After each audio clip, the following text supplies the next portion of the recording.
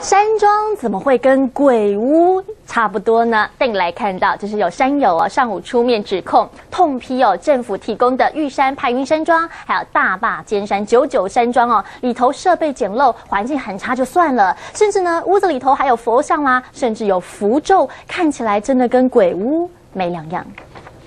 超级昏暗的走廊，就算是大白天也让人不寒而栗。走到屋内也是暗迷蒙，食物更是堆满床上。别以为这里是什么荒废的民宿，这些可都是台湾提供给登山客过夜的山屋。也放一挂佛像啦，声也算讲有遐会灵气啦。然后若听到声也是感觉奇怪，因为咱山顶个冷啊，你感觉奇奇怪，去根本。去啊，那阮是爬山是习惯，你南北北用的感觉逛鬼屋安尼，所以用住山屋就像住进了鬼屋。还亏台湾有百大名月，也是先进的国家，没想到政府提供给山友的山屋设备，竟然是落后国家水平。你看一百多个人要煮饭的时候，那空间大概只有两平大，要煮煮给那么多人吃，环境卫生又差。